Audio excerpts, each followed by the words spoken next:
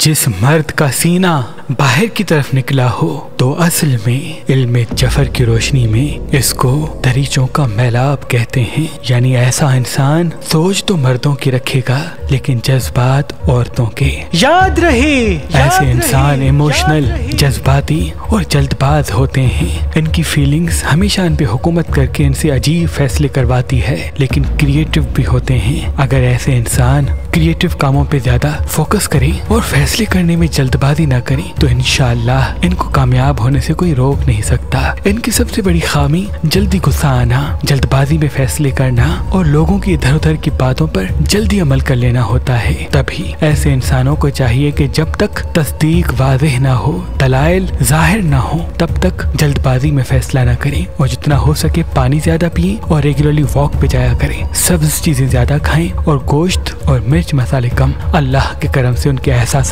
काबू में और वो जिस्मानी और रूहानी अमराज से अल्लाह की पनाह में रहेंगे। और अगर ऐसे इंसान सुबह उठते ही सताईस मरतबा सूर्य नसर पढ़ के अल्लाह को याद करके दिन का आगाज़ करेंगे तो इनशाला इनसे वो फैसले होना शुरू होंगे जो इनके लिए बेहतर है। और जिस इंसान का सीना बिल्कुल चिपका हुआ हो, ऐसा इंसान ठहर ठहर के कदम उठाएगा और इनका दिल पीछे जबान आगे होगी और इनकी सिक्स सेंस स्ट्रॉन्ग लेकिन ऐसे इंसान दोस्ती में वफा तो करेंगे, लेकिन अगर किसी के दुश्मन हो गए तो उस दुश्मनी का अंजाम बहुत गलत होगा। ऐसे इंसान कोशिश करें, माफ़ करने का जज्बा बुलंद रखें और अपने सब्र को मुकदम रखें। अगर ये लोगों की छोटी छोटी बातों को दरगुजर करेंगे तो उनके लिए बहुत मुबारक होगा। और अगर दिन में एक मरतबा दूध पियेंगे और उस पर सत्ताईस मरतबा सूर्य कौसर पढ़ेंगे तो इनशाला इनके वजूद में इतमान और इनकी सिक्स सेंस इनको इनके मंजिल से मिलाने लगेगी। लेकिन याद रहे, ये अपने राज दबाए रखें। क्योंकि ज़्यादा अपने राज ज़ाहिर करना,